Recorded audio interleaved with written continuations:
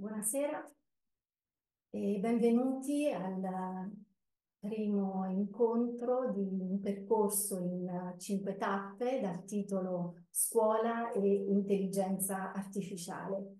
Io sono Carmela Favarulo e in COP mi occupo di eh, attività e iniziative sociali, eh, tra cui eh, i progetti di educazione a un consumo consapevole alla cittadinanza attiva che COP da oltre 40 anni offre alle scuole di ogni ordine e grado. Eh, eh, oggi eh, siamo qui eh, per un percorso sul tema dell'intelligenza artificiale eh, che abbiamo realizzato in collaborazione con l'Università degli Studi di Firenze. Una collaborazione nata già nel 2020 in piena pandemia quando progettammo e realizzammo un percorso molto partecipato sulla, sulle metodologie a supporto della didattica digitale. Oggi il tema del, dell'intelligenza artificiale è un tema eh, di assoluto interesse e attualità e pensiamo anche che capirne la grammatica sia, sia cruciale e eh, che la scuola possa eh, svolgere un ruolo importante proprio in un percorso di alfabetizzazione su questa tematica. E allora, ancora in collaborazione con l'Università degli Studi di Firenze, vi presento i relatori, la professoressa Maria Ranieri, professoressa ordinaria del, che insegna didattica e tecnologie del, dell'istruzione, l'ingegnere Stefano Cuomo, esperto in intelligenza artificiale, insegna nuove tecnologie per l'educazione e la formazione, e eh, il ricercatore eh, Gabriele Biagini, eh, anche, anche, lui conduce attività eh, nel, presso il laboratorio di tecnologie dell'educazione dell'Università degli Studi di Firenze. Prima tappa, quindi, dicevo, di un percorso in cinque incontri Um, alcune informazioni tecniche avete a disposizione, siete tantissimi e di questo siamo molto, molto contenti. Avete a disposizione un'area domande e risposte per porre le domande alle quali dalla regia poi proveremo a dare eh, le, le, risposte. Eh, la registrazione di questo webinar e anche dei prossimi verrà poi messa a disposizione sul sito eh, Sapere Coop eh, e vi ricordo anche, questo era eh, citato nel programma, non c'è un riconoscimento di crediti formativi, tuttavia se c'è necessità di eh, un attestato di partecipazione eh, potete scrivere una, una richiesta alla, a info-saperecop.it. Indicherò poi in chat questo, questo, questo link, questa mail. Eh, vi lascio ai relatori, buon webinar. Grazie Carmela per questa introduzione, è un piacere e un onore eh, per me eh, proseguire questa collaborazione con voi per lavorare sui temi eh, della cittadinanza attiva. E io credo e cercherò di dimostrarlo nel tempo che ho a disposizione che questo percorso che svolgeremo insieme attraverso questi cinque webinar eh, eh, ci porterà appunto a maturare una maggiore consapevolezza su questi temi proprio nell'ottica della cittadinanza attiva e consapevole. Cinque webinar, questo è il primo. Eh, e da dove partire? Eh, eh, va da sé che eh, un ciclo di webinar sull'intelligenza artificiale a scuola non può che partire con un tentativo, per quanto eh, diciamo grossolano, eh, dato il tempo a disposizione, ma poi ci sono tanti strumenti che abbiamo anche realizzato attraverso cui poter approfondire, da dove partire da una definizione. Eh, impresa ardua, ehm, ancorché per certi aspetti eh, come dire, è, è, ovvio che si parte eh, dalla, dalle definizioni. Eh, dicevo impresa ardua perché? Eh?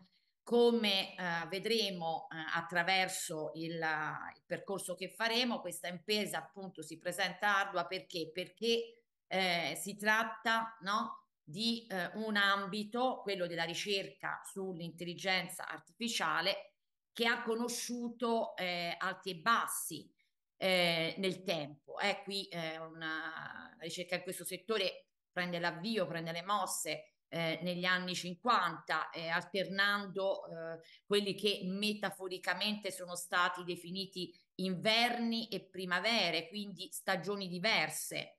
E nelle diverse fasi eh, è stata posta attenzione, enfasi a, ad aspetti differenti. Ieri, ad esempio, eh, sul pensiero computazionale, oggi su approcci eh, data driven, lasciandosi un po' così guidare dai dati. Eh, altri elementi eh, di complessità che rendono difficile fornire una definizione soddisfacente sono legati anche alla pervasività dell'intelligenza artificiale. Eh, tratto aspetto questo che la rende per così dire mh, inafferrabile, invisibile, eh, così tanto per capirsi, per intendersi dall'interrogazione di un motore di ricerca eh, alla traduzione automatica di un testo, alla interazione con Alexa. Ecco, in tutti i casi stiamo parlando di azioni che si basano eh, su applicazioni di intelligenza artificiale, ma eh, si manifestano sotto eh, forme diverse. Eh, c'è poi quest'altro aspetto di complessità eh, che riguarda il mimetismo dell'intelligenza artificiale. Si dice appunto che essa è intrinsecamente mimetica, cioè in grado di eh, generare risposte eh, simili a quelle, eh, a quelle umane. Eh, pensate a ChatGPT, eh, sistemi come ChatGPT sono stati proprio progettati per generare risposte che si avvicinano molto a, alla comunicazione umana e, e, questi sistemi incarnano eh, in modo molto eh, efficace questa, questa, idea, quella eh, del eh, mimetismo. E attraverso il mimetismo eh, non soltanto eh, l'intelligenza artificiale sembra ingannarci, ma noi rischiamo anche di auto-ingannarci perché chiediamo all'intelligenza artificiale di fare cose che non le pertengono. E infine poi c'è un ulteriore elemento che viene spesso trascurato e che riguarda proprio il modo di concepire la relazione, la relazione stessa tra noi e l'intelligenza artificiale, l'uomo e la macchina, che diciamo è sempre meno riconducibile a delle visioni antropocentriche eh, basate proprio su un'idea di eh, supervisione, subordinazione e controllo della macchina, mentre invece sempre più questo rapporto assomiglia a un atto di cooperazione, a un atto cooperativo, proprio come quando interagiamo no? con eh, chat GPT eh, e eh, il, il, modo in cui poniamo domande eh, influisce proprio sull'esito di questa interazione. Quindi, insomma, non è facile per tutte queste ragioni fornire una definizione. Ma noi da qualche parte dobbiamo partire e da dove partiamo? Intanto partiamo da un fatto. Eh? Quando è stata coniata questa espressione? Ecco, pure nella complessità eh, degli aspetti che abbiamo menzionato, eh, da un punto di vista per così dire filologico, questa espressione è stata coniata nel 1956 da John McCarthy eh, nel eh, celebre eh, seminario di Dartmouth, che viene un po' considerato, eh, come dire, fondativo rispetto quantomeno alla formalizzazione del campo di ricerca. E per eh, McCarthy l'intelligenza artificiale eh, si basa proprio sull'idea che l'intelligenza possa essere rappresentata con una tale precisione per cui una macchina, se viene opportunamente progettata, è in grado di emularla.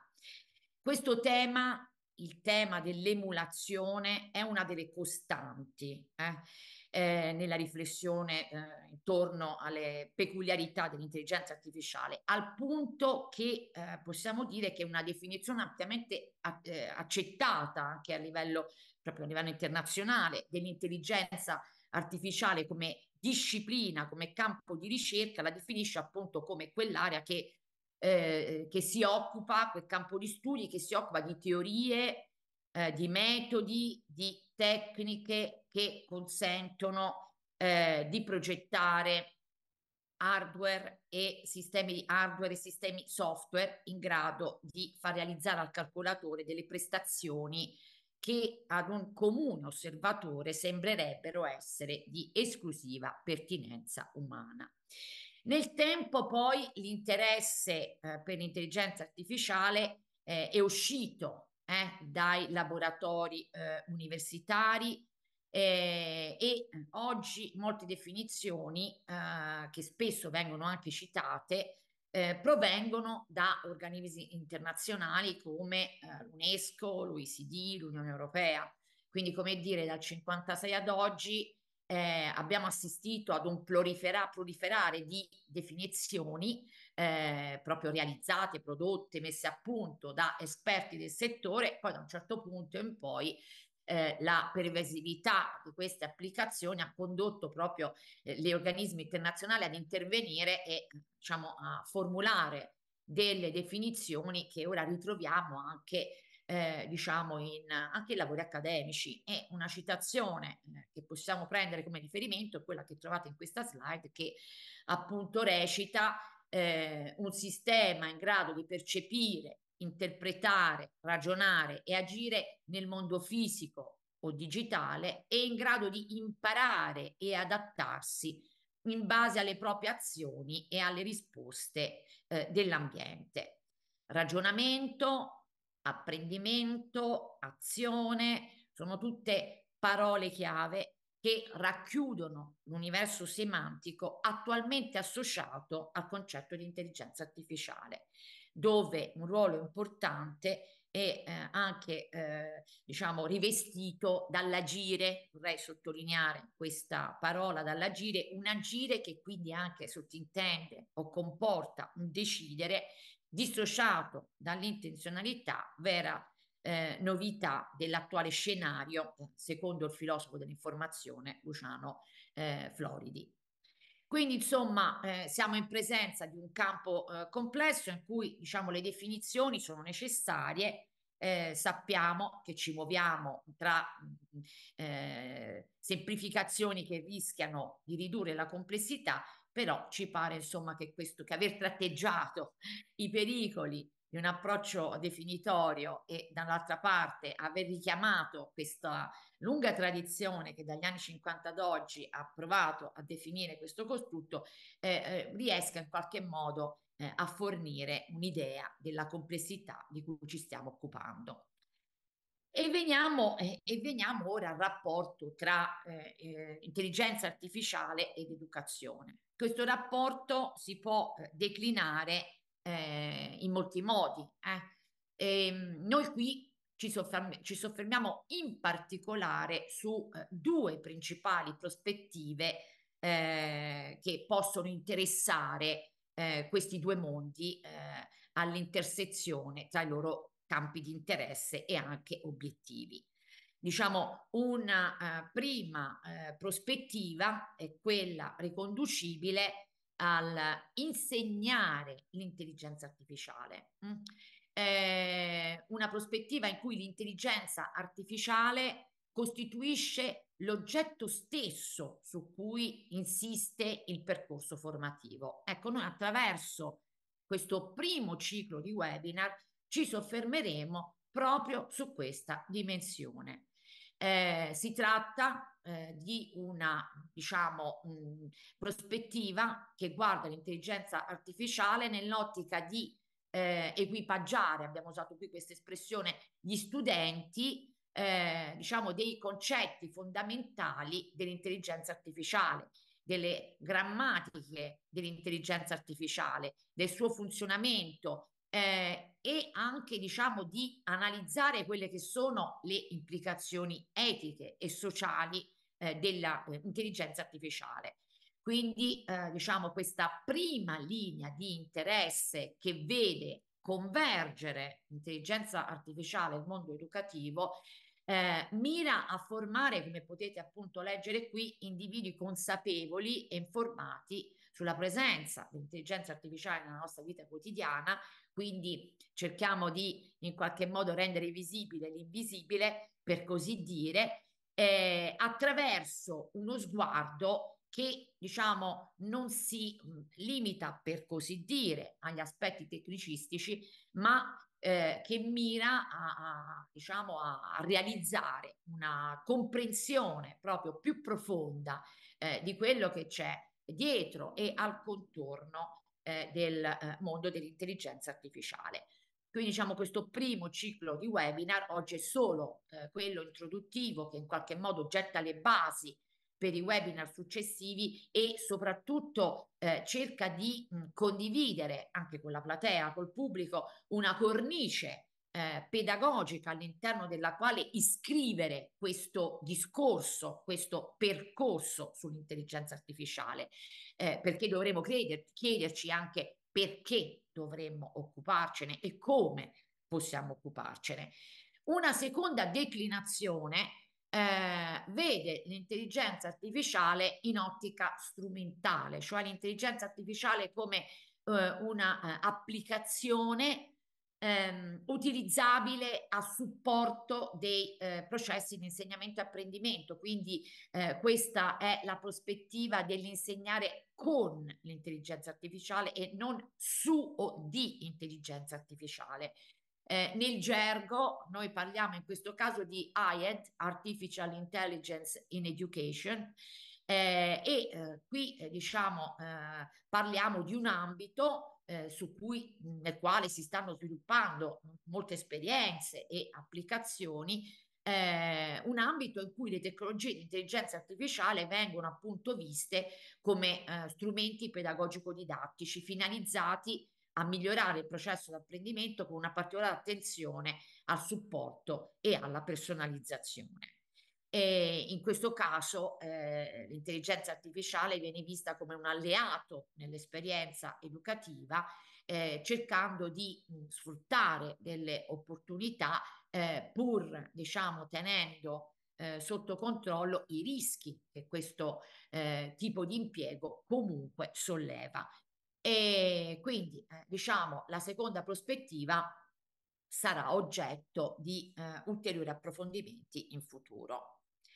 E veniamo eh, ora a un altro eh, tema eh, che in apertura a questo ciclo eh, di seminari online eh, è importante. Un altro tema, un'altra domanda. Eh.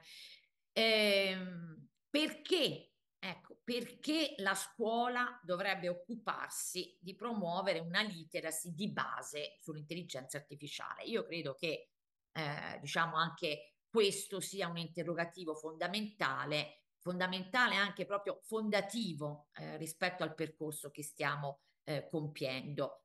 E per rispondere a questa domanda credo che sia eh, utile eh, richiamare, eh, richiamare alcuni, alcune delle visioni dominanti eh, relativamente al rapporto tra bambini, adolescenti e calcolatori, tecnologie, computer. Eh, da una parte eh, possiamo ad esempio eh, richiamare eh, autori come Tisseron. Eh. Tisseron è un noto psichiatra francese il quale ad esempio raccomanda di non esporre i più piccoli alle tecnologie digitali e suggerisce, più che suggerisce, raccomanda anche in questo caso gradualità eh, nel, nel far utilizzare le tecnologie digitali ai bambini fino ai 12 anni le tappe anagrafiche eh, indicate sulla copertina di questo suo volume che è stato tradotto anche in italiano stanno proprio a rappresentare quest'idea di gradualità. E dall'altra eh, troviamo autori tipo Prensky, no? Eh, che eh, diciamo eh, qualche anno fa con il mantra dei nativi digitali eh, autori come lui hanno negato, almeno inizialmente, la necessità di un incontro eh, educativo tra adolescenti e tecnologie, educativo nel senso di formativo, perché? Perché le nuove generazioni, secondo Prensky, parlano naturalmente la lingua dei media digitali. Prensky stesso ha rivisto questa posizione successivamente, ma insomma, eh, inizialmente l'idea di Prensky era proprio questa. Eh, le nuove generazioni parlano naturalmente il linguaggio dei media digitali. E proprio per questo le nuove generazioni non eh, necessitano di una alfabetizzazione eh, digitale. Eh, possono quindi usarle perché già le usano eh, comunemente. Bene, da che parte stare? Mm?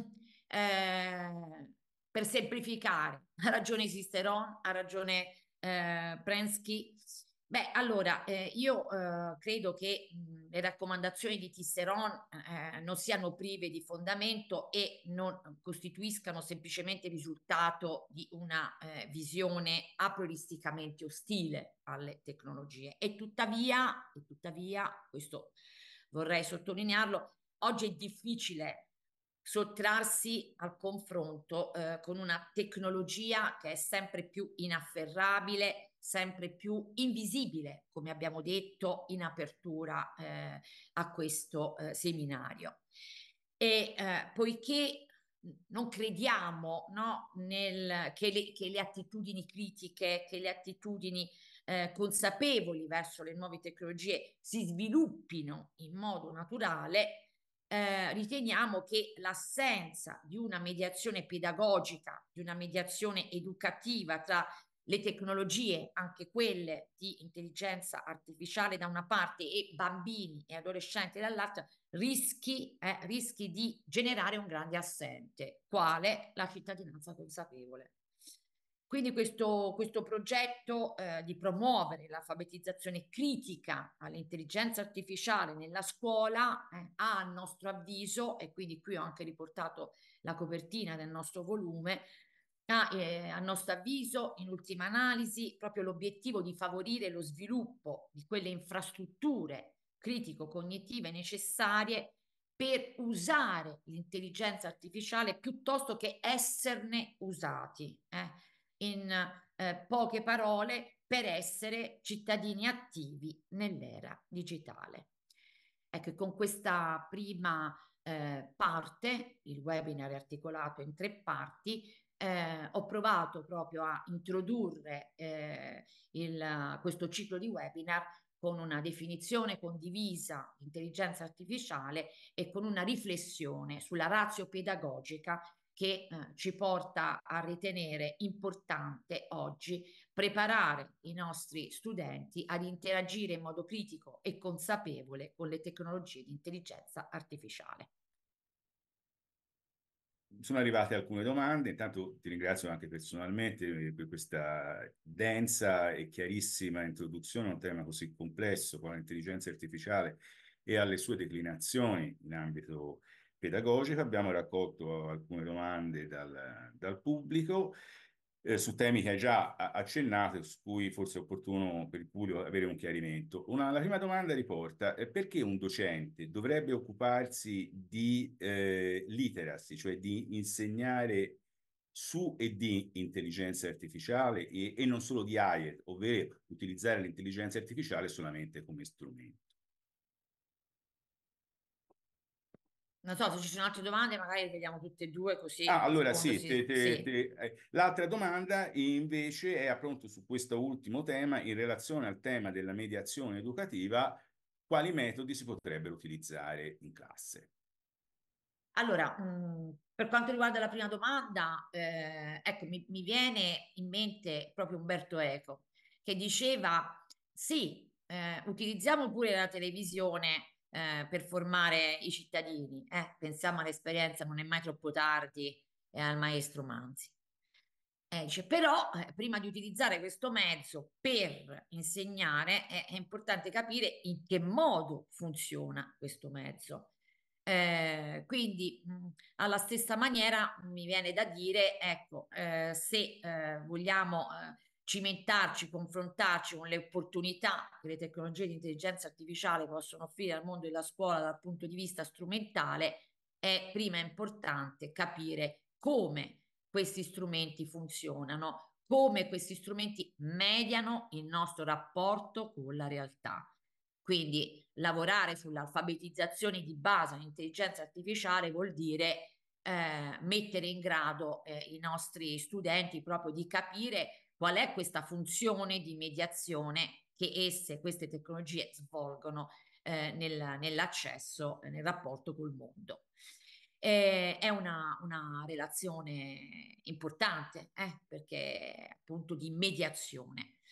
Per quanto riguarda eh, il come insegnare, ecco, ovviamente eh, la risposta dipende eh, dalla, dalla, domanda che cosa stiamo insegnando dell'intelligenza artificiale. L'intelligenza artificiale non è eh, un costrutto monolitico dal punto di vista delle componenti che, si, che, che la costituiscono anche le, ne, ne, dal punto di vista della, della sua in, in, insegnabilità, cioè ci sono conoscenze di base, ci sono delle competenze cara di, di, carattere più procedurale, quindi bisogna capire di che cosa stiamo parlando. Se stiamo parlando di aspetti eh, più di comprensione, eh, eh, si può fare riferimento a delle tecniche che provengono anche da ambiti che solo apparentemente sono distanti, per esempio eh, la Philosophy for Children, eh, che ci può permettere di coinvolgere eh, i bambini e gli adolescenti in una riflessione su che cos'è l'intelligenza. Eh? Quindi parliamo di intelligenza artificiale, ma forse bisogna partire da una riflessione più generale di, su che cos'è l'intelligenza. Allora, tecniche di questa natura, la discussione, possono alimentare sul piano didattico l'avvicinamento degli studenti a questi temi o eh, se si pensa ad aspetti di natura più etica, quindi aspetti più controversi, eh, si può fare riferimento a delle tecniche, eh, diciamo, che, che, che, meglio si prestano eh, per, la, per, strutturare una, una, discussione. Penso al debate, eh, penso eh, quindi a momenti dialogici strutturati in cui eh, l'analisi di posizioni contrapposte su temi molto controversi può facilitare l'approfondimento delle argomentazioni a favore e argomentazioni contro. Nel mezzo eh, c'è uno spaccato eh, molto ampio e diversificato di ulteriori conoscenze che possono richiedere a, a ulteriori tecniche che mh, mm, eh, che, che, che, sicuramente, questo sì, lo devo dire, lavorando su aspetti critici, lavorando su eh, sviluppo di competenze e capacità cognitive, eh, diciamo, eh, piuttosto eh, avanzate, ecco, sono tecniche eh, di carattere meno trasmissivo, per così dire, e più orientate alla, alla risoluzione di problemi, all'inquiry, alla ricerca, alla riflessione. Quindi diciamo che eh, anche nel, nel, volume che abbiamo scritto le, la proposta, le proposte di tipo didattico che accompagnano eh, la presentazione dei diversi costrutti coinvolti sono sempre proposte eh, che mh, guardano a didattica attiva, ad una didattica eh, che coinvolge lo studente in un processo di costruzione di conoscenza eh, attraverso la scoperta, attraverso l'esperienza, attraverso eh, il dialogo. Quindi eh, in, in, sintesi, ecco, è una didattica eh, della partecipazione e della riflessione critica condivisa. Bene, io direi che con questa Grazie. prima parte abbiamo introdotto il, il nostro ciclo di, di seminari eh, che per completare diciamo, la presentazione abbiamo necessità di strutturare il, il, dominio di conoscenza di cui andremo ad occuparci. A questo scopo eh, passo la parola al collega eh, Stefano Cuomo che introdurrà proprio gli ambiti eh, di conoscenza su cui eh, riteniamo necessario soffermarsi per una literacy consapevole sull'intelligenza artificiale. Prego Stefano. Stiamo parlando appunto di insegnare di intelligenza artificiale. Eh, sappiamo tutti che eh, l'intelligenza eh, artificiale è un dominio su cui abbiamo tutti a che fare, tutti ora parlano di intelligenza artificiale, qualunque libro, qualunque trasmissione televisiva parla di intelligenza artificiale. Come è stato detto prima, non è neanche facile dare una definizione onnicomprensiva dell'intelligenza artificiale perché questa può essere vista sotto diversi aspetti. Se dovessimo dire che cos'è che eh, caratterizza l'intelligenza artificiale, soprattutto quella, diciamo, eh, post chat GPT, per utilizzare un termine che ormai è, è familiare a tutti, Potremmo dire che questa è caratterizzata eh, sostanzialmente da eh, una complessità intrinseca, quello che, eh, veniva, quello che veniva detto prima, ovvero i, il fatto che eh, l'intelligenza artificiale è intrinsecamente, è intrinsecamente mimetica, non riusciamo chiaramente a definirne i confini e soprattutto è un dominio che si sta eh, evolvendo rapidissimamente. Eh, per, tanto, per citare una cosa che è comune veramente a tutti, chat, chat GPT, eh, se eh, pochi mesi fa, un anno fa, chiedevamo ai nostri studenti chi conosceva, chi aveva utilizzato chat GPT, un anno fa alzava la mano il 5-10% degli studenti, quest'anno ha alzato la mano l'80-90%. Sono strumenti che sono complessi, che si diffondono con una velocità veramente eh, eccezionale e che pervadono tutte le nostre vite. Per cui in questo scenario, questo scenario completamente eh, complesso, per certi versi anche frammentato, come è che noi possiamo parlare di insegnare in maniera corretta di intelligenza artificiale? Come possiamo stabilire eh, una AI literacy, un'alfabetizzazione critica che sia un'alfabetizzazione in un certo senso efficace? Ecco, eh, per questo è necessario che eh, una alfabetizzazione critica all'intelligenza artificiale abbia necessariamente una prospettiva di carattere multidimensionale, ovvero una prospettiva che non si limiti solamente ad investigare, che ne so, un aspetto tecnico, tecnologico o un aspetto di carattere etico o sociale, ma sia un quadro di obiettivi didattici che abbia una prospettiva intrinsecamente eh, multidimensionale in cui queste dimensioni, secondo cui nel nostro libro abbiamo ipotizzato questo quadro di riferimento, l'intelligenza artificiale appunto si può eh, declinare. Abbiamo quindi definito, e è quello diciamo, l'obiettivo principale di questo mio eh, intervento, abbiamo quindi definito un framework. Un framework che in termini educativi è una definizione quadro di obiettivi pedagogici che si deve porre una, eh, appunto, un'azione pedagogica per offrire una, eh, dei risultati efficaci. In questo caso, se noi parliamo di intelligenza artificiale, questa prospettiva multidimensionale che noi abbiamo individuato sulla base sostanzialmente della letteratura corrente è eh, un framework che si basa su eh, i principi fondanti dell'intelligenza artificiale come anche si sono sviluppati da un punto di vista storico, ovvero sulle abilità operative, sulle capacità di impiego consapevole, sulla valutazione critica delle implicazioni dell'intelligenza artificiale e infine la capacità di eh, utilizzare l'intelligenza artificiale in maniera eticamente eh, responsabile. Premettendo che quando parliamo di AI literacy, ovvero di alfabetizzazione critica all'intelligenza artificiale, facciamo riferimento a un termine che è un termine di abbastanza recente, è stato identificato, coniato per la prima volta nel, 2000, nel 2016, il concetto di literacy, ovvero con una approssimativa traduzione italiana, alfabetizzazione non è un concetto nuovo in ambito edu eh, educativo.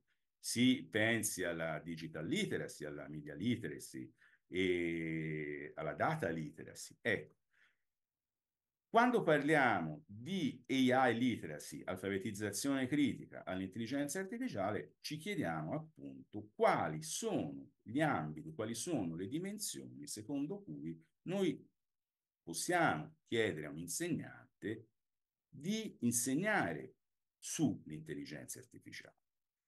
E eh, queste dimensioni che noi abbiamo individuato sono quattro eh, dimensioni.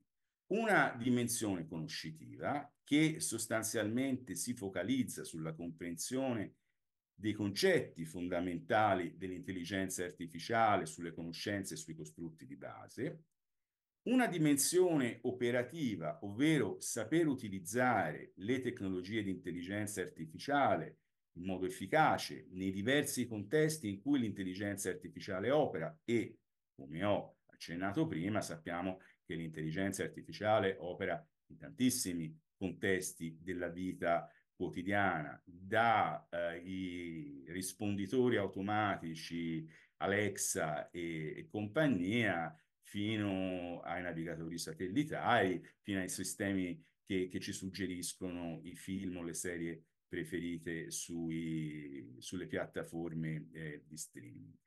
Quindi dobbiamo saperli utilizzare in maniera corretta per trarne il massimo vantaggio.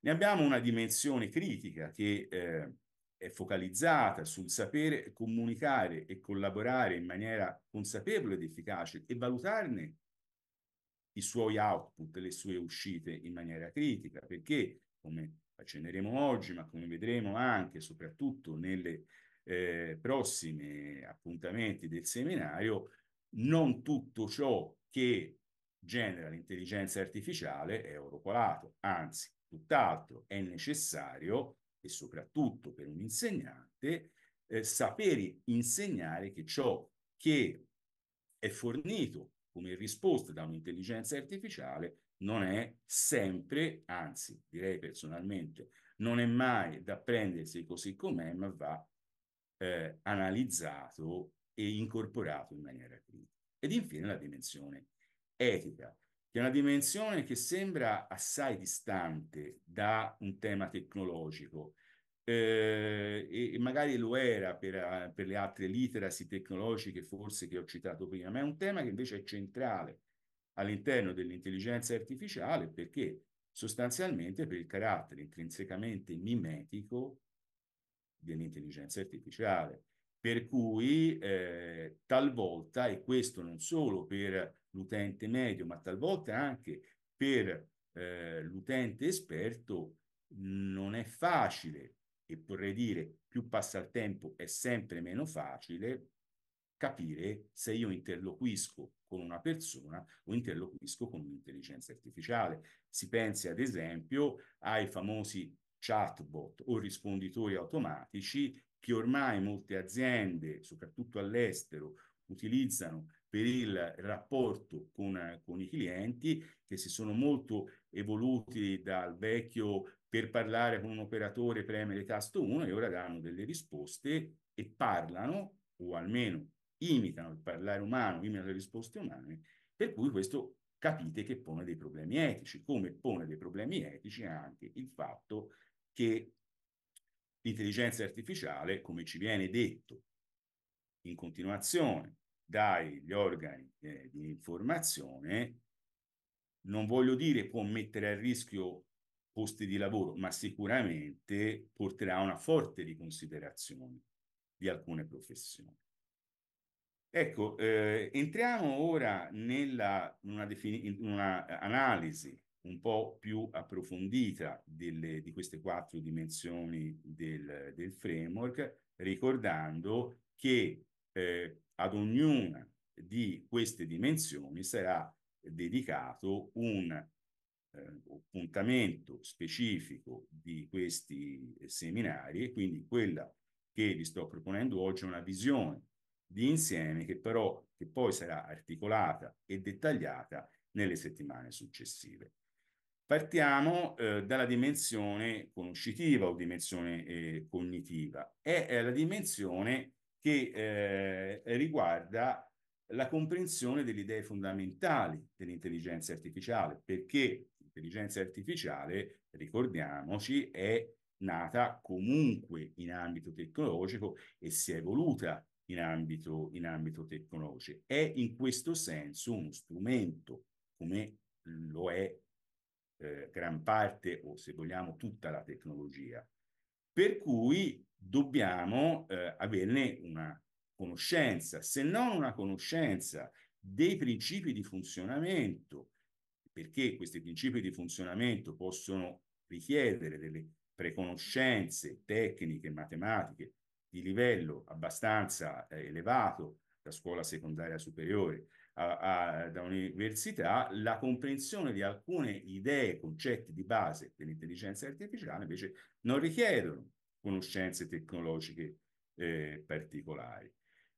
Cosa vuol dire questo? Cosa eh, potremo porci come obiettivo tecnologico in termini di eh, domini di, di eh, obiettivi di insegnamento? Ad esempio, le definizioni e i diversi tipi di intelligenza eh, artificiale. Come sappiamo, ci sono diversi tipi di intelligenza artificiale, anche perché questo è un termine che, come è stato eh, detto nell'intervento precedente, è stato introdotto nel 1955 da McCarthy o, e anche precedentemente nel 1950 è stato in qualche modo teorizzato da, da Alan Turing.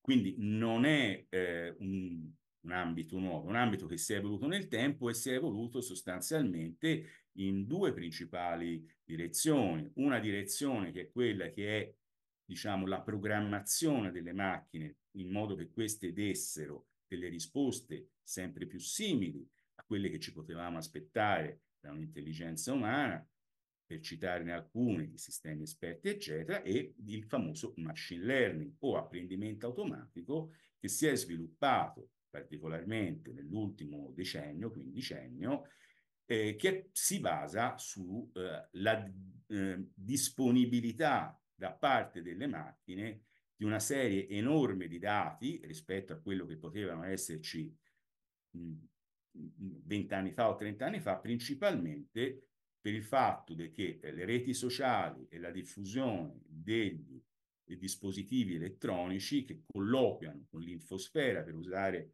un altro termine eh, coniato da, da Luciano Floridi, siamo noi che alimentiamo questo, questa, questa infosfera e con questa infosfera le macchine hanno potuto avere una base di dati enorme su cui sviluppare il loro apprendimento, ma anche parlare di a cosa può eh, eh essere utile l'intelligenza artificiale, quali sono i domini applicativi, ad esempio, per citarne alcune, la visione artificiale, il riconoscimento vocale, la traduzione eh, automatica e anche ultimamente la generazione eh, di testi eh, e immagini. Per quanto riguarda invece la eh, dimensione operativa, questa è forse la dimensione più eh, familiare, cioè come utilizzare gli strumenti di intelligenza artificiale.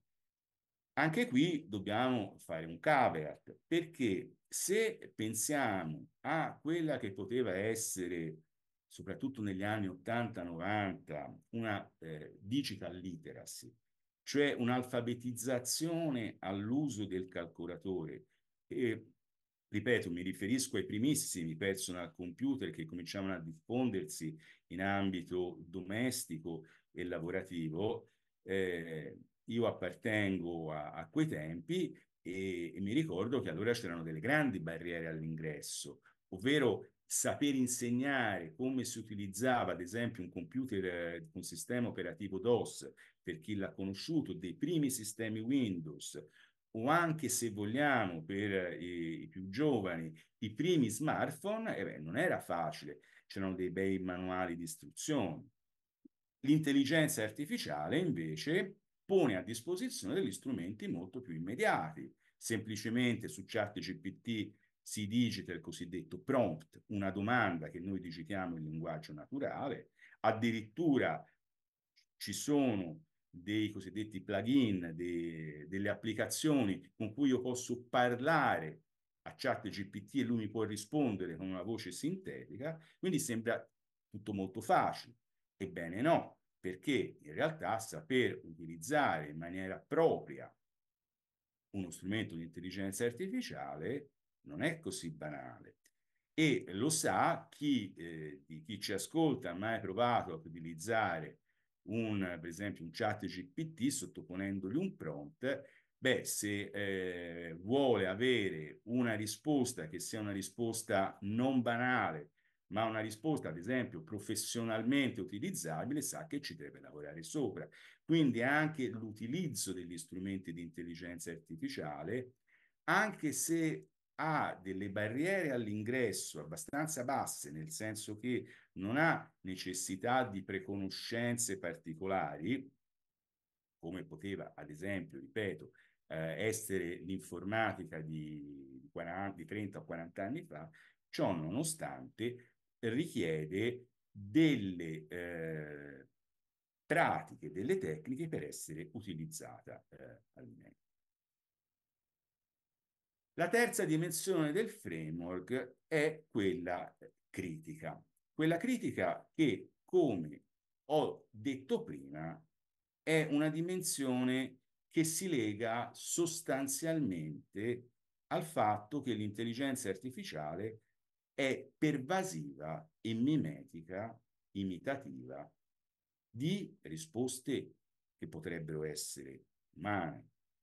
Eh, questo comporta una serie di eh, implicazioni che possono essere sia a monte dell'intelligenza eh, artificiale, nel senso chi sviluppa questi sistemi, sia soprattutto a valle, cioè di chi li utilizza. Perché, eh, per citare un esempio, uno dei temi più eh, dibattuti all'interno delle risposte dell'intelligenza artificiale è il cosiddetto, un termine inglese, bias, che ha una traduzione che noi possiamo che polarizzazione, ma io preferisco chiamare con un termine più pedagogico stereotipo.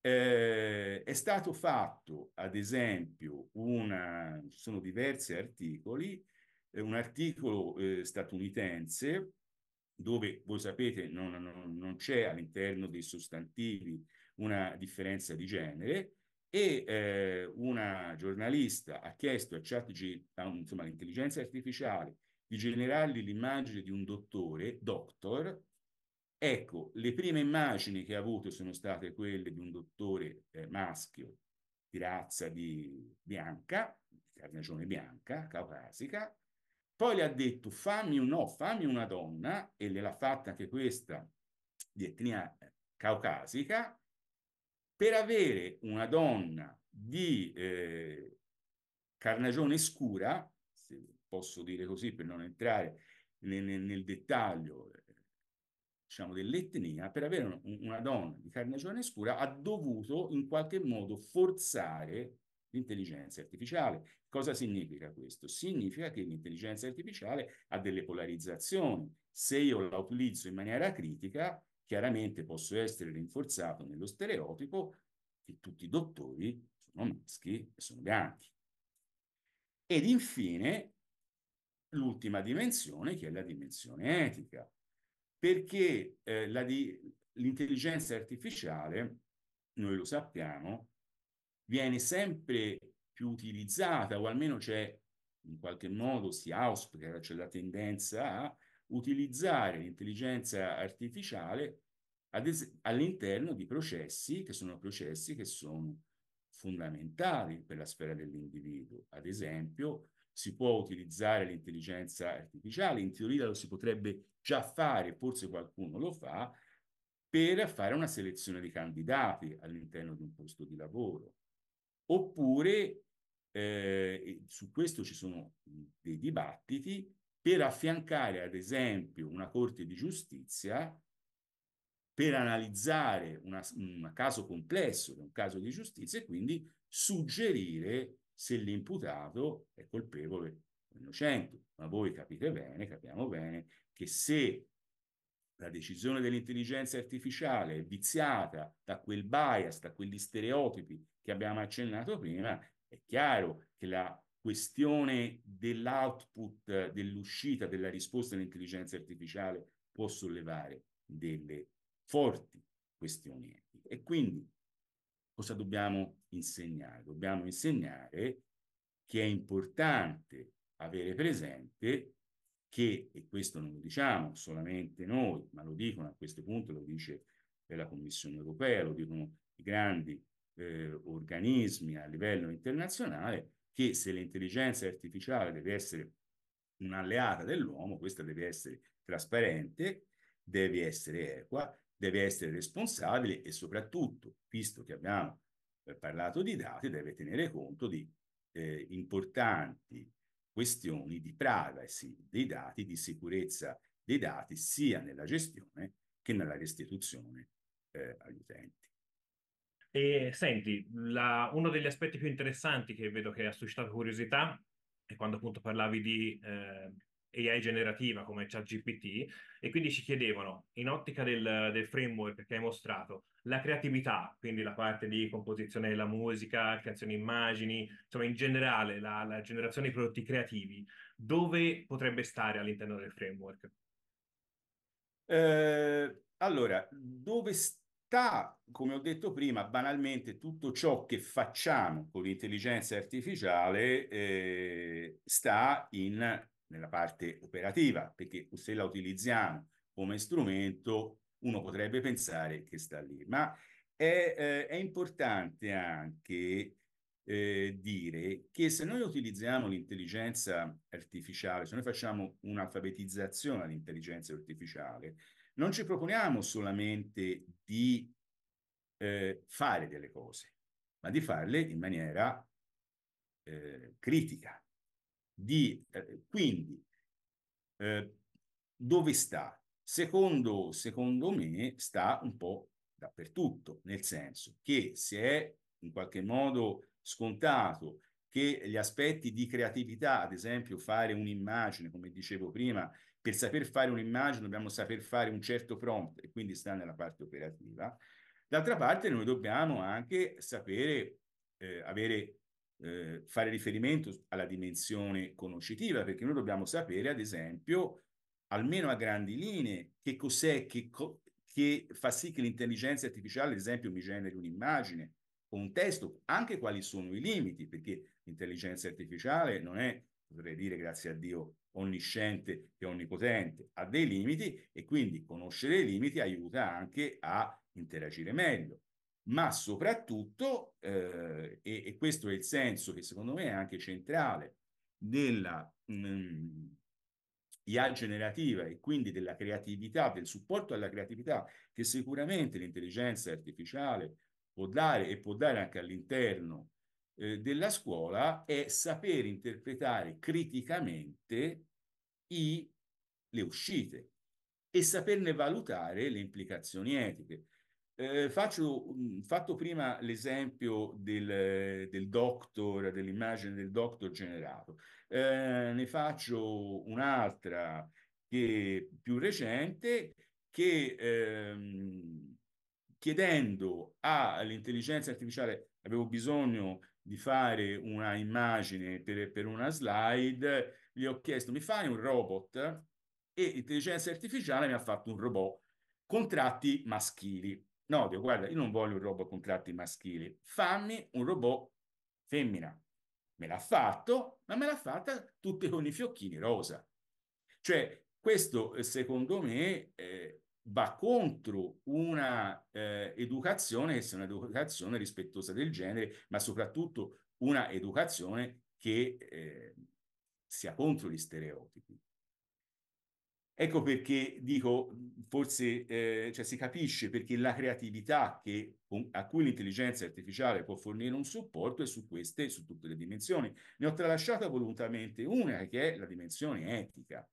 Perché, eh, perché se riporto il, il, la prospettiva media educativa, se all'interno dei social network era sufficientemente facile, ma non immediato, creare una fake news, creare un contenuto fasullo, all'interno, con un'intelligenza artificiale, è facile creare un contenuto fasullo.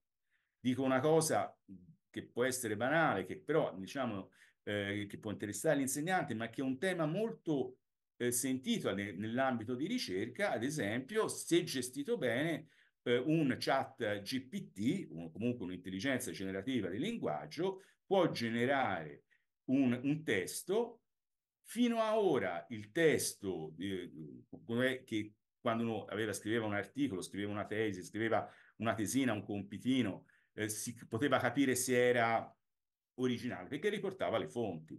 Ma ora l'intelligenza artificiale può anche generare fonti fasulle. Si pone quindi, quindi e questo è il, il, anche l'aspetto etico che io ho declinato principalmente in ambito, eh, in ambito educativo.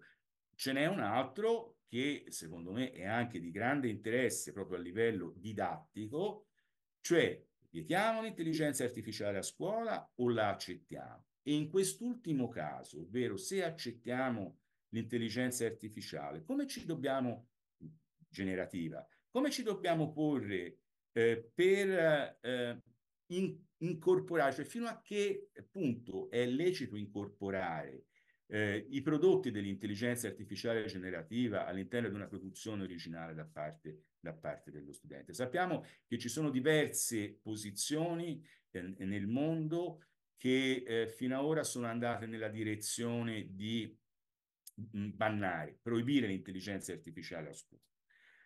Secondo me, eh, l'obiettivo della parte educativa dell'education, cioè di educare a, dovrebbe essere proprio dire non vietiamo, ma insegniamo ad utilizzarla in maniera corretta e responsabile.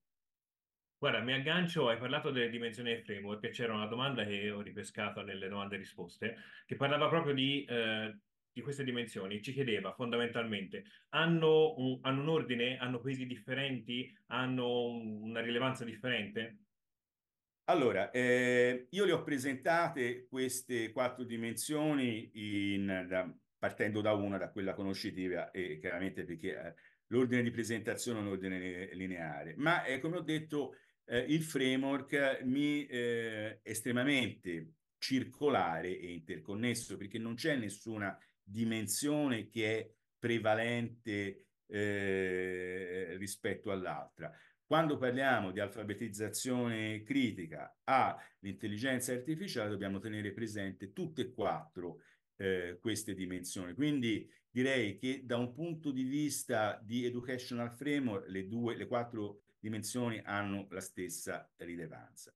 Cosa leggermente diversa, e forse per questo mi hai fatto la domanda perché conduce poi al tuo intervento, cosa diversa è come andiamo a implementare questo framework, vi ricordo, un framework è in qualche modo una costruzione teorica che definisce degli obiettivi, poi questa costruzione teorica va implementata in un curriculum didattico e questo è un altro aspetto fondamentale dell'alfabetizzazione eh, critica. Questo immagino, Gabriele, ne parli te nel tuo intervento. Sì, sì, esattamente. Io quello di cui vi andrò a parlare adesso fondamentalmente è proprio questo, cioè di quelle che vengono chiamate le eh, domande aperte dell'AI literacy.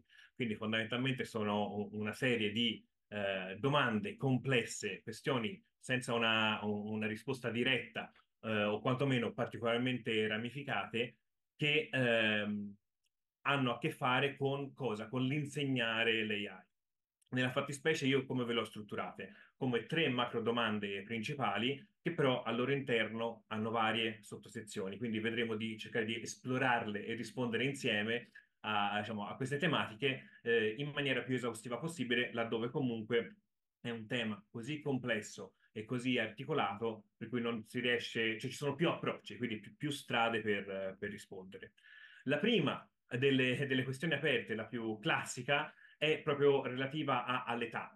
Quindi fondamentalmente a quale età possiamo pensare di promuovere la conoscenza dei concetti fondamentali dell'AI e più nello specifico se si può pensare a una, uh, quella che viene chiamata one size fits all, cioè una taglia unica del, dell'alfabetizzazione. Si può pensare di creare un, un, curriculum di questo tipo oppure ci sono delle, delle specificità questa è una grande questione aperta che appunto eh, non ha un, una risposta diretta. In soccorso ci viene cosa? Ci viene la letteratura. Per esempio c'è un report UNESCO che vi ho riportato in calce recente del 2022 che eh, fa proprio una mappatura dei curriculum dedicati all'AI in ambito K-12. Il K12 che cos'è? Il K12 è una classificazione che va approssimativamente, per riportarla diciamo, in ottica eh, chiara a noi, dal 5-6 anni a 17-18 anni, quindi sarebbe eh, K sta per kindergarten e 12 è il dodicesimo grado, quindi questo è il range che potete immaginarvi, 5-6, 17-18.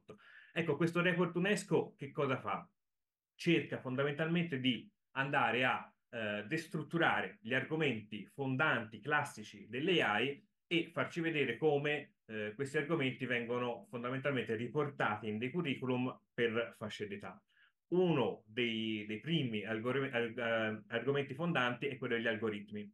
In che senso? Per esempio le definizioni basilari di algoritmo, le loro prime applica applicazioni, eh, il pensiero computazionale, pensate a Logo, a Papert. Ecco che vediamo che in questo report la, uh, questa parte viene già gestita all'interno di curriculum pensati per la scuola primaria.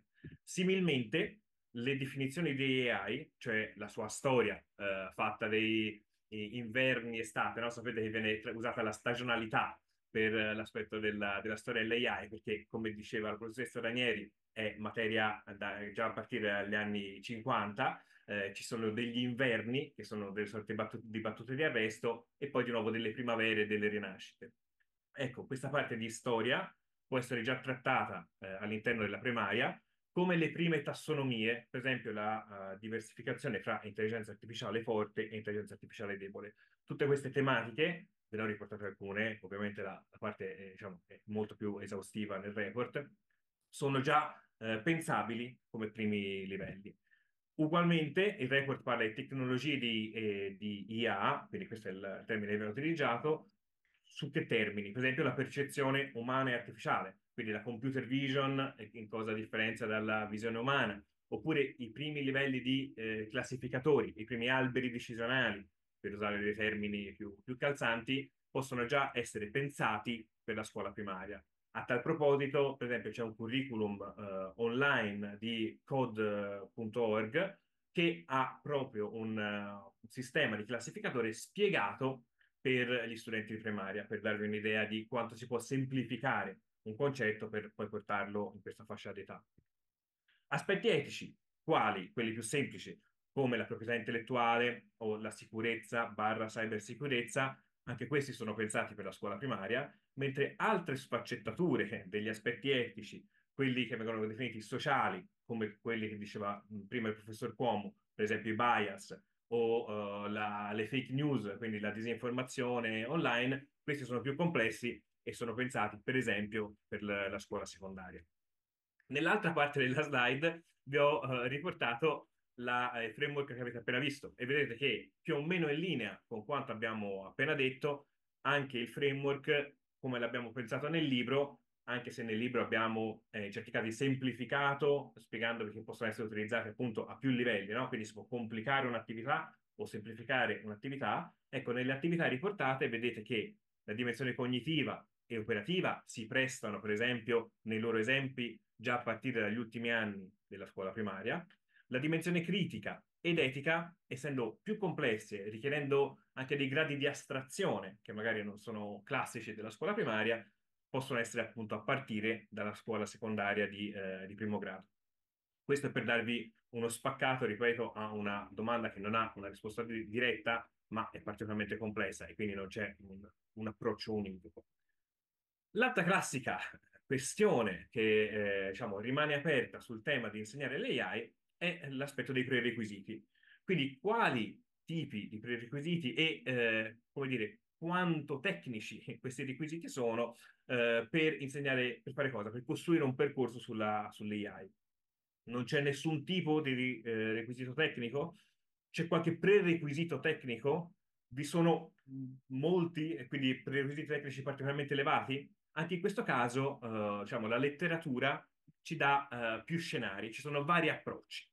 Vi è un approccio uh, considerato hard uh, che fondamentalmente vede la AI literacy, chiamata anche AIL, per questo vi ho riportato l'acronimo, come un campo intrinsecamente tecnico, cioè non si scappa da, una, da dei requisiti particolarmente complessi e di scienze hard, quindi matematica, statistica, eh, pensiero computazionale elevato, vedete che quando andranno a definirli useranno termini come deep learning e quindi eh, apprendimenti particolarmente complessi e matematici. E quindi la literacy come viene vista? Con una robusta base di competenze matematico-statistiche e informatiche. Questo approccio che eh, è tuttora presente nel, diciamo, nella visione accademica, mette proprio nella, nell'alfabetizzazione conoscenze di machine learning eh, non supervisionato e deep learning. Quindi fa delle sue, dire, delle sue conoscenze base dei, delle conoscenze matematico-statistiche particolarmente complesse. In contrapposizione a questo filone hard c'è un filone che è decisamente più inclusivo, è un'altra corrente e fondamentalmente che, eh, che cosa tiene in considerazione? Tiene in considerazione quello che abbiamo detto precedentemente, che hanno detto sia il professor Ranieri che il professor Cuomo. L'AI è tutt'oggi presente in maniera pervasiva nella nostra società e il suo carattere mimetico e diciamo, la sua forte diffusione fa sì che un po' tutti dobbiamo in qualche maniera essere alfabetizzati, quantomeno a un utilizzo critico. Quindi questo filone cerca ovviamente di trattare l'AI in che cosa? Nella comprensione chiara dei principi e delle applicazioni nell'uso quotidiano. Fa proprio menzione di quello che chiamano everyday use. È un po' eh, fondamentalmente lo scenario che prima prospettava il professor Cuomo. Vi è una terza corrente che cerca di mitigare queste due correnti che vi ho appena illustrato, che eh, è quella che fondamentalmente cerca di trovare la uh, mediazione nel contesto. Quindi di, sostiene fondamentalmente che si possono definire i prerequisiti del, dell'AI literacy in base a cosa? In base a chi eh, lo utilizza. Quindi propone di diversificare le competenze fra cittadino e sviluppatore. Anche se eh, diciamo, è una posizione ovviamente di buon senso, capite che non, eh, non assolve a diciamo, tutte le eh, questioni precedentemente dette. Nella fattispecie, nel nostro libro, ci siamo più volte chieste diciamo, a cosa ci avvicinavamo. E eh, la professoressa Ranieri, quando vi parlava, vi parlava di eh, cittadinanza critica e eh, diciamo, accesso alla cittadinanza, e quindi un utilizzo di questa tipologia di, di parole, di chiave, di eh, strumenti, capite che ci avviciniamo decisamente più a una visione inclusiva, senza abbandonare il buon senso del, del contesto, ma con un'attenzione molto, molto oh, dedicata al, all'aspetto di abilitare le persone all'utilizzo di questi strumenti. Terza questione aperta. Uh, chi insegna l'AI? L'aspetto disciplinare. Quindi fondamentalmente quali sono le discipline, le discipline coinvolte nell'insegnamento dell'AI e dobbiamo pensare all'integrazione di una nuova disciplina nel curriculum? Anche questa è una domanda particolarmente complessa.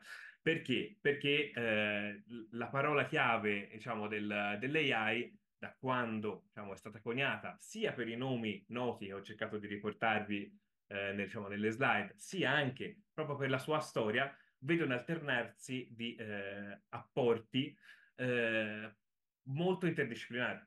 Quindi la, fondamentalmente uno degli aspetti fondanti della storia dell'AI è questa sua interdisciplinarietà. Tante discipline possono contribuire in maniera differente e in base a prospettive differenti alla comprensione e al funzionamento dell'AI e nelle sue implicazioni. Perché dico questo? Perché ehm, se pensate appunto ai, non solo a, ai vari modi in cui ogni disciplina può generare un rapporto, ma proprio ai eh, vari aspetti che l'AI riesce a toccare nel, eh, diciamo, nelle varie discipline, in che modo come dire, sfocia eh, nelle varie discipline. Lo stesso report UNESCO che vi ho menzionato prima ci fa un, un esempio molto specifico, cioè eh, va a provare a, come dire, a prendere un, un, uno o più esempi, io ve ne ho riportato uno, in realtà ce n'è eh, una serie, di un tema classico che potrebbe essere affrontato uh, scolasticamente parlando e come le varie discipline possono generare eh, dei, dei punti di congruenza per andare a affrontare questi aspetti. Per esempio, L'esempio che fa è quello sui cambiamenti climatici e l'impatto sociale. Quindi pensare proprio all'AI dedicata a questa tipologia di, eh, diciamo di, di tema. E ci mostra come, per esempio, la disciplina della matematica con eh, l'insegnamento degli algoritmi in, prima, in prima battuta e poi i, i, primi sistemi di classificazione che potrebbe utilizzare l'AI per questo tema, può iniziare a generare dei contenuti che eh, possono essere presi da altre materie e approfonditi per eh, approfondire appunto ulteriormente il tema. Per esempio, la geografia, che raccogliendo quanto appunto imparato e studiato da, dagli studenti a matematica, va a fare cosa? Un focus sugli uh, effetti dei cambiamenti climatici e come utilizzare quegli algoritmi visti prima o quelle classificazioni per tentare una predizione. Quindi è come se fosse uno step successivo, ma eh, andando in un argomento leggermente differente e limitrofo in un'altra disciplina. Ugualmente la disciplina delle scienze potrebbe prendere un caso di studio, questo è l'esempio che fa l'UNESCO, sulla computer vision per la produzione agricola. Sapete che ci sono tanti appunto casi applicati di eh, computer vision o di eh, AI predittiva no? per eh, i raccolti, il grado di maturazione, eh, la, diciamo, la complessità del terreno, ma anche appunto i rischi idrogeologici. Ecco, questo potrebbe essere il tema del, del professore di scienze che va a, a, diciamo, a, a trattare questo, questo, aspetto sempre con il focus sui cambiamenti climatici, no? quindi rimane quello il centro, l'AI di sottofondo e costruisce diciamo, questo tipo di conoscenza e poi chiude per esempio con eh, la materia dell'italiano, quindi la disciplina italiano, che eh, propone in questo caso, un, uh, questo è il caso di studio che hanno preso, un elaborato sul tema come pensi che l'AI possa risolvere, eh, diciamo, e possa aiutare e, eh, a risolvere questo problema. Quindi un, un, come dire, un rapporto interdisciplinare, ad esempio, di varie discipline per vedere come eh, ci può essere una complementarità. Cosa vi dicevo prima? Vi dicevo che la stessa storia dell'AI è fatta davvero di apporti interdisciplinari in maniera non esaustiva eh, ho messo una, diciamo, una raccolta di eh, immagini e, e, di foto di, di, cosa? Di grandi menti eh, che eh, hanno alimentato le, proprio la, la, storia dell'AI. Parto da, da Alan Turing, eh, quindi considerato uno dei padri fondatori, quella precedente, no? Se pensate all'Imitation Game e diciamo, al, ai grandi rapporti che ha dato anche proprio di, di stampo eh, così, di, di, idee per, per la generazione del, dell'AI, eh, era un matematico, un logico, un crittografo, ho messo i puntini perché in realtà, ah, diciamo, tanto si può dire un filosofo, eh, no, non si può racchiudere eh, in una singola e semplice disciplina. John McCarthy, ne abbiamo parlato prima, un matematico, un computer scientist, eh, ha coniato il termine e ha, dato, ha continuato a dare apporti da punti di vista differenti. Ho, ho parlato di Turing, come non parlare di Searle, eh? quindi John Searle, il filosofo, quello del, delle stanze cinesi, eh, che quanto ha problematizzato l'aspetto, per esempio, del, della comprensione, del significato, eh, la, il rapporto, diciamo, l'esercizio mentale della stanza cinese un po' in, uh, in contrapposizione, se volete, anzi in arricchimento del, dell'imitation game e quanto può condizionare no? un, dire, un, un, una visione esterna, non per forza di scienze hard, matematiche, scientifiche statistiche e che, che risultati porta. Ancora, Rosenblatt, psicologo, praticamente padre delle reti neurali, cioè se eh, siamo oggi appunto a, a, livelli così avanzati è perché abbiamo raccolto e teorizzato un, uh, un, un, insomma, tantissime informazioni, tantissimi approcci di, eh, di stampo differente, nel suo caso psicologo, e eh, ancora oggi stiamo parlando di, di queste teorie. Ho chiuso con anche un, un'ottica critica, se volete, filosofo, linguista, Chomsky, eh, tuttora, mh, qualche anno fa, uh, la critica a ChatGPT, ma in generale gli apporti per lo studio di quello che viene chiamata NLP, cioè Natural Language Processing, è tutto lo studio nel mondo dell'intelligenza artificiale e di come, eh, diciamo, affina e affronta la parte del, del linguaggio umano. Ecco, tutte queste figure che, ripeto, in maniera non esaustiva, io vi ho citato, sono uh, fond fondamenti di eh, arricchimento del campo. È un campo così eh, sia in crescita, se volete, perché ora siamo in un momento di, eh, viene definita l'estate dell'intelligenza artificiale, perché c'è questo trend particolarmente eh, di attenzione generale verso l'AI, ma in generale ha praticamente 80 anni, 90 anni di storia eh, che davvero a porti differenti hanno generato eh, e hanno arricchito il campo in, in maniera ogni volta particolare. Ecco, con uh, diciamo questo, questo tuo intervento, eh, ovviamente si entra uh, diciamo nel merito proprio del, di un quale curriculum eh, eh, quale, quale percorso realizzabile concretamente a scuola e abbiamo visto appunto che eh, non c'è un'unica risposta, eh, anche perché poi questi temi possono anche essere affrontati a diversi livelli di complessità eh, e quindi eh, insomma si tratta anche di riflettere su che tipo di trasposizione didattica operare su questi costrutti eh, in relazione all'età. Ovviamente al di sotto di una certa età certi temi diventano davvero difficili, l'hai chiarito molto bene, eh, soprattutto quando parlavi della questione dell'etica. E, ehm, però, eh, insomma, questa, questa proposta non, non vuole essere eh, definitiva da questo punto di vista, quella che tu ci hai mostrato.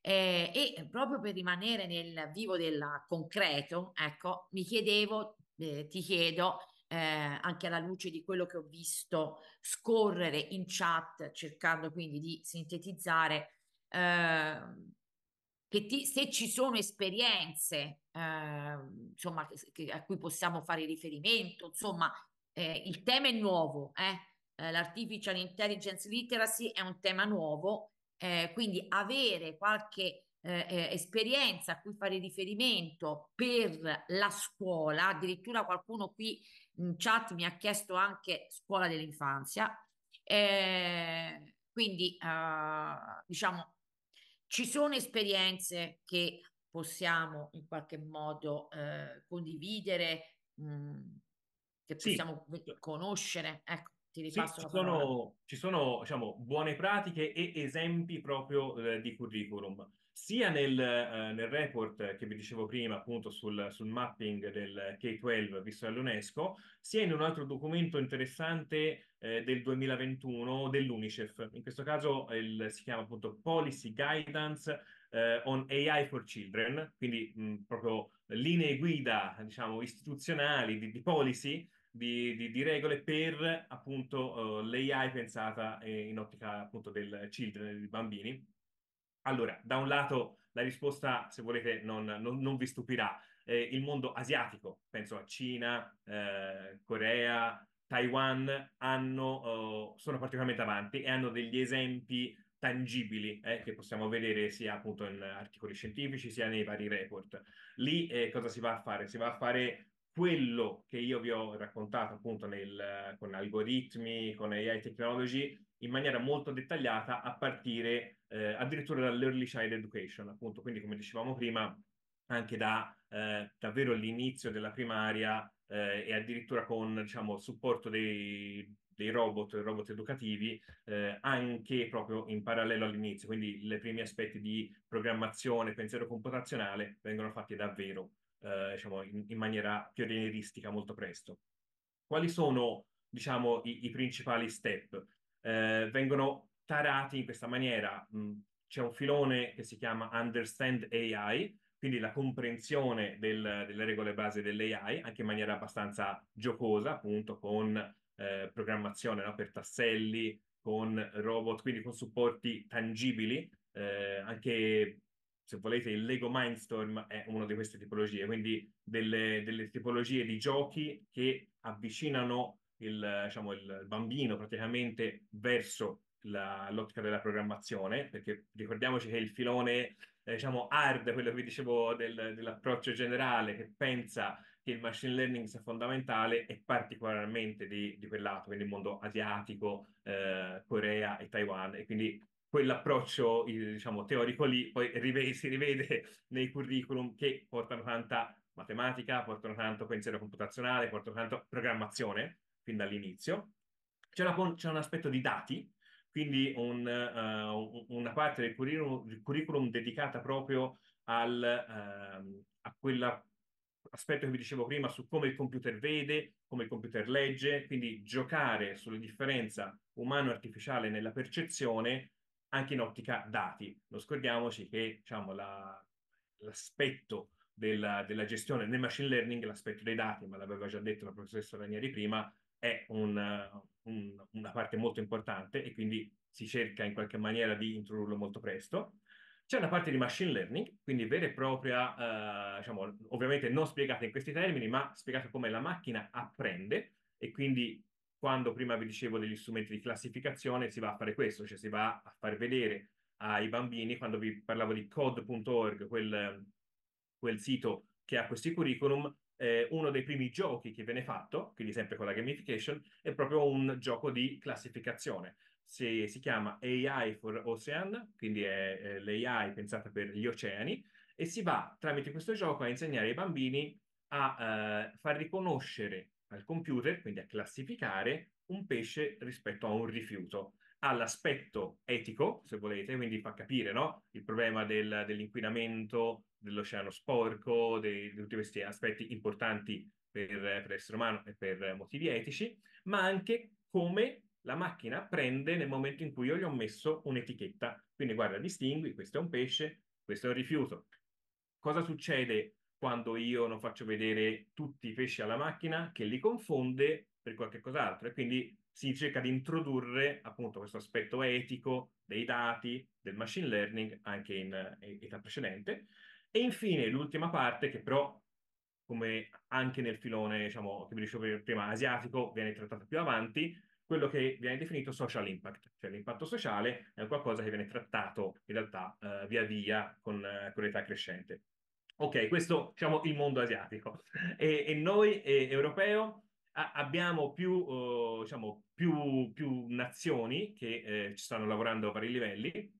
La Germania è una fra queste, ha, una, diciamo, ha un esempio di curriculum nel mondo, diciamo, nella sezione Mathematics, e il curriculum si chiama proprio Identif Identifying and Formulating Algorithms, quindi mette proprio gli algoritmi eh, al centro, ovviamente è dentro matematica, quindi è quello l'approccio, però ha questo taglio di, diciamo, generale, e il Portogallo, che viene riportato appunto nel, nel report UNESCO, perché dentro un curriculum di ICT, eh, già nella scuola, diciamo, fine della scuola primaria, ha delle esperienze, diciamo, e degli insegnamenti di, eh, diciamo, di AI.